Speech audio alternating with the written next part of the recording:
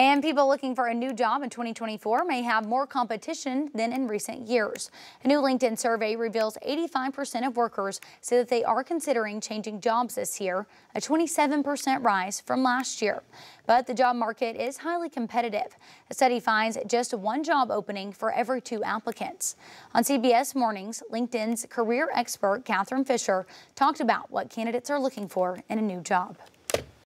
What the data shows us is that they want more money, they want more flexibility, and they're not seeing opportunities. You know, it's still considered a good job market, but it's really that pendulum has swung back to the hiring manager. Oh. Fisher says Nashville, Miami, Fort Lauderdale, and Seattle offer some of the best job opportunities.